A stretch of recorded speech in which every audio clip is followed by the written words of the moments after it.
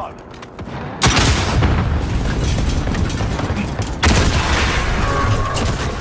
We're just getting started, mate.